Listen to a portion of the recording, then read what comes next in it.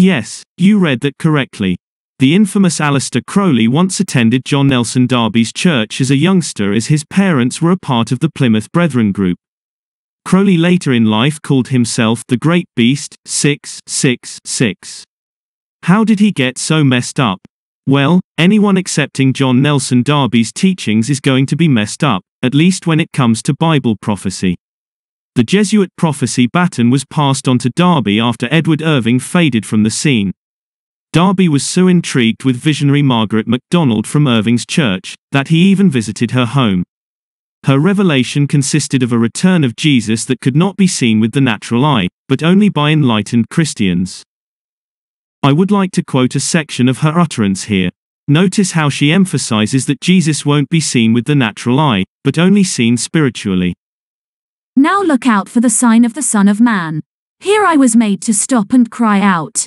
Oh, it is not known what the sign of the Son of Man is.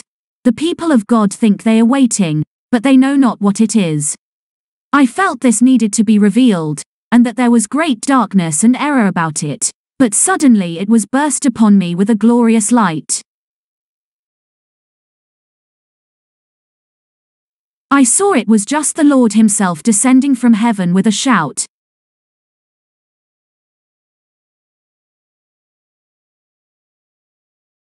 just the glorified man, even Jesus, but that all must, as Stephen was, be filled with the Holy Ghost, that they might look up and see the brightness of the Father's glory. I saw the error to be that men think that it will be something seen by the natural eye.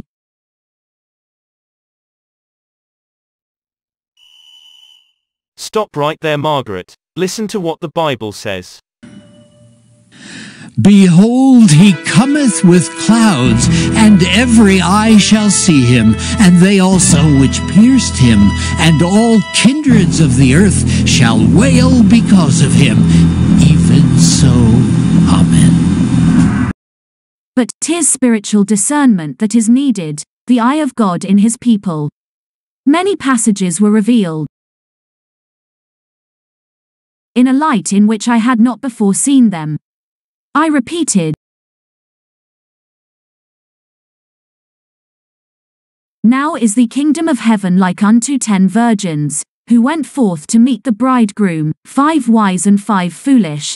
They that were foolish took their lamps, but took no oil with them. But they that were wise took oil in their vessels with their lamps. But be ye not unwise, but understanding what the will of the Lord is, and be not drunk with wine wherein is excess, but be filled with the Spirit.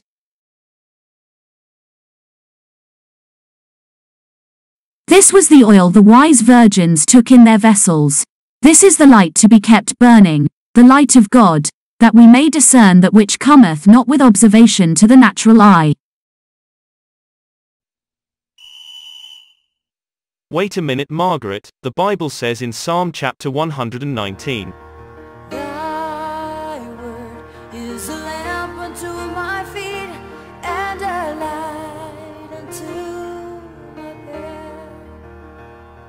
Only those who have the light of God within him will see the sign of his appearance.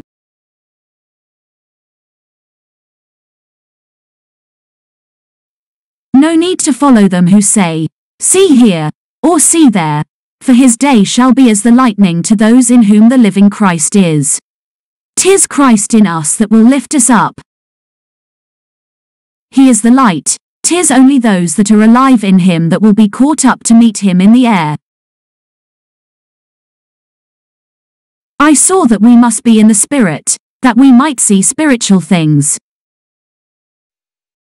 If you examine Margaret's utterance closely, you will notice that she is proclaiming that there will be an invisible return of Christ that only enlightened people can see. She keeps talking about having a light that will show us and that this light burst upon her. She teaches that discernment comes by this light. But the Bible says that God's word is our light. Discernment based upon some mysterious experience is not how Christians should discern. Jesus does not come alone as she states. In several passages it says Jesus comes with his angels and other passages even mention that he comes with the saints. New Ages also promote a Jesus that comes in a spiritual sense but not in the flesh. Dear friends, 1 John chapter 4 says, Do not believe every spirit, but test the spirits to see whether they are from God, because many false prophets have gone out into the world. This is how you can recognize the Spirit of God. Every spirit that acknowledges that Jesus Christ has come in the flesh is from God, but every spirit that does not acknowledge that Jesus came in the flesh is not from God. This is the spirit of the Antichrist, which you have heard is coming and even now is already in the world. Margaret's pastor, Edward Irving, failed miserably to teach his people to discern. Newspaper articles from his era document that Irving's church services were chaotic and disorderly. Even Darby said, and I quote, No doubt the devil has been thus working among Mormonites and Irvingites. Yet Darby trots right over to Margaret's house and stays for three days because he was so intrigued by her utterance. Dispensationalists now try to distance Darby from Margaret claiming that he did not receive his revelation of a pre-tribulation rapture from Margaret, but came up with it on his own, years prior. Even so, he did show quite the enthusiasm for Margaret's proclamation even after knowing devils were operating in Irving's church. Let's find out more about what was going on at Irving's church. Let's meet Margaret's very close friend, Mary Campbell. In 1830, a woman by the name of Mary Campbell claimed that she had received the gift of tongues. Not only that, she also wrote these languages on paper, even though she had no idea what she was writing. We're going to be talking about Mary Campbell on this episode. And one of these sects was a group led by a woman in 1830 by the name of Mary Campbell, a woman that would later be associated with the Reverend Edward Irving. The story goes like this that while on her sickbed, Mary Campbell miraculously recovered by way of a prophetic miracle. After that, she vowed to spend the rest of her life converting the heathen. Through promptings and impressions, she concluded that this was God calling her to the mission field. But rather than study a foreign language, Campbell believed that all she needed to do was pray and God would miraculously bestow the ability to speak the languages. And thus, she allegedly received the gift of tongues. She began writing strange looking characters on paper that neither she nor any of her followers could decipher.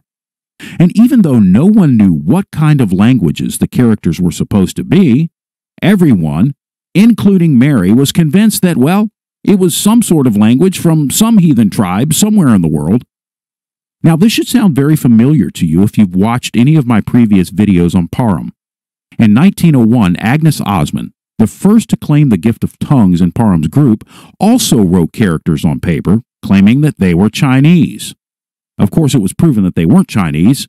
It was also proven that the characters Mary wrote were not languages either. This did not deter Mary, however, because it wasn't long before her group started performing healing miracles, and soon it was publicly announced that the apostolic gift of healing was restored to the church. Edward Irving even invited Mary Campbell to London and pronounced that the apostolic gifts had returned.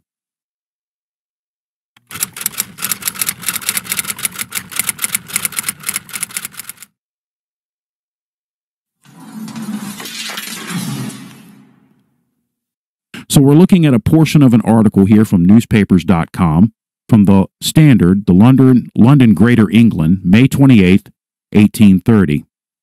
And I'm going to look at this portion right here because this is what mentions her tongues and writings. This is a very long article, so there's no way we're going to read the entire thing. This is what it says. However, this may be, she was, or at all events, imagined herself endowed with, look here, the gift of tongues, which gift consisted in uttering certain articulate sounds without any meaning attached to them, but which were supposed to be a language and informing on paper, here it is right here, informing on paper certain marks which were supposed to be either words or letters. And as every time she opened her mouth or put her pen to paper, the sounds or marks were different. The languages were, of course, different. And her acquirements are now so numerous that she possesses more languages than Sir William Jones ever did, with the trifling difference that he understood his. And then it goes on to speak of another girl who thought she had also received the gift of tongues and was speaking in French And of course, her pastor convinced her that it wasn't true because he spoke the language and he could tell that all she was doing was speaking gibberish. I want to move down to this section right here. Bottom section here of the article. Every word she uttered was taken down. She herself committed them to writing and wrote out the characters, and she was flocked to from all quarters. Her prophecies, her visions were listened to as oracular, and she prayed fervently in the unknown tongue, or, as it has been well termed by some of the learned men to whom it has been submitted, in the language of gibberish.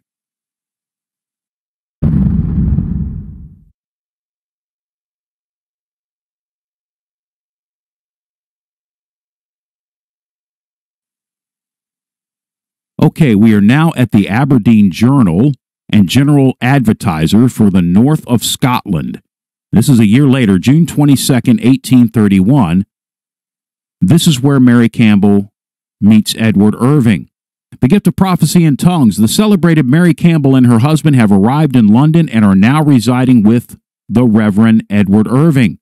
This lady has, it seems, the gift of prophecy and tongues but unfortunately, neither she herself nor anyone else can interpret or understand the language which she speaks. Now, watch the reason why.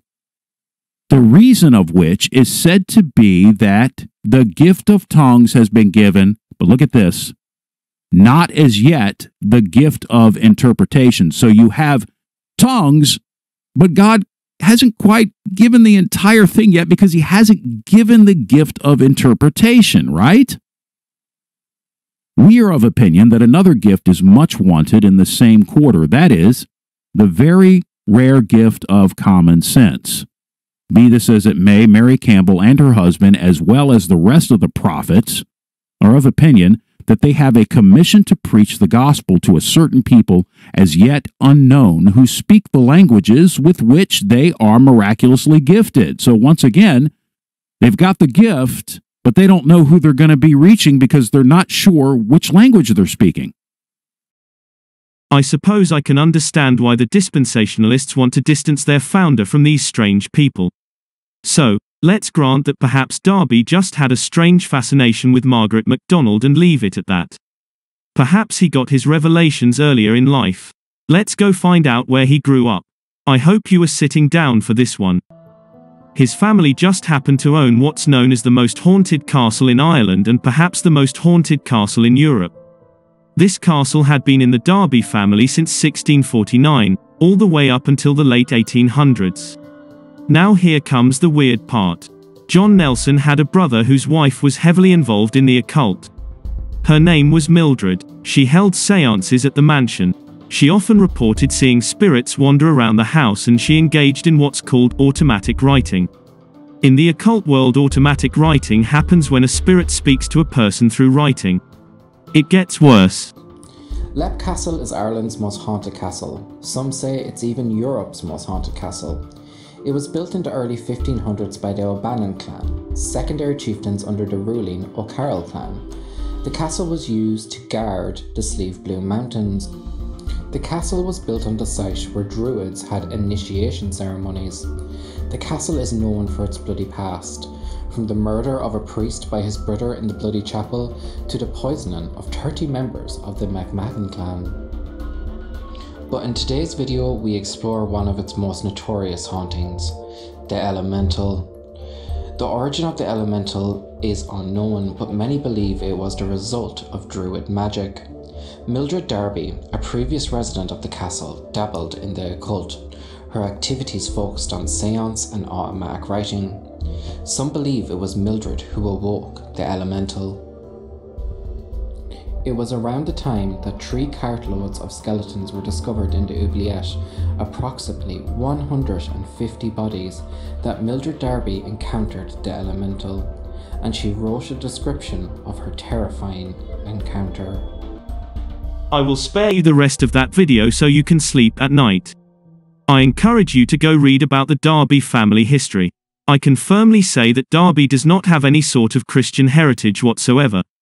I wonder what it was like growing up in an environment like that. Now let's hear an excerpt from John Nelson Darby's biography written by Max Weremchuk. Years ago, during my research for the revision of my biography on John Nelson Darby, I was happy to have made contact with a person from the exclusive wing of the Brethren who was very helpful in supplying me with information not readily heard otherwise. During one exchange concerning Leap Castle he said, Now, I want to tell you a story my late father told me. He said that John Nelson Darby was staying at a very old house and was resting, but awake. In bed, when he was suddenly aware of a presence in the room, a hooded man, who indicated silently, by pointing, that he wanted something out of a drawer or cabinet in the corner. Darby responded by saying words to the effect, take what you want, and the spirit then went and opened the said drawer, or similar, and removed some item. Having turned to acknowledge Darby, the figure then vanished, no sound having been made, and Darby had no rational explanation for the event. Than my late father, who as an exclusive brother professed no belief at all in ghosts, but did think there was some possibility of visible, evil spirits, which might be visible at times. And I have no idea from where or whom my father heard the story, and yet I do not believe he would pass on something about someone he revered such as John Darby, which he thought was untrue. Yet I have never heard the tale from anyone else. It does occur to me that Leap Castle would be one possible place for such an event to have occurred. It is alleged repeatedly that various monk-like, ghostly figures have been seen there over the centuries. I guess compared to this, the incident with Margaret MacDonald seems quite mild. So in conclusion, this man, John Nelson Darby, is considered the father of dispensationalism. During the time John Darby appeared on the religious scene, so did many other cult leaders such as Joseph Smith who created Mormonism, Charles Taze Russell that invented the Jehovah's Witnesses and William Miller of the Adventist movement. Also, these false prophets made a flurry of false dates for the Lord's return. William Miller predicted that Jesus would return in 1843. Edward Irving said Jesus would return in 1864. The founder of the Jehovah's Witnesses said Jesus would return in 1874. And when that didn't happen, he said that it was an invisible return of Jesus. Doesn't that sound like the same kind of idea Margaret was preaching when she said that people would not see Jesus with the natural eye? New Ages teach this sort of thing today. They teach that Jesus will return in some sort of spiritualized way and not really physically. Listen to this new age man named Michael ramble on about the rapture and you will see what I mean.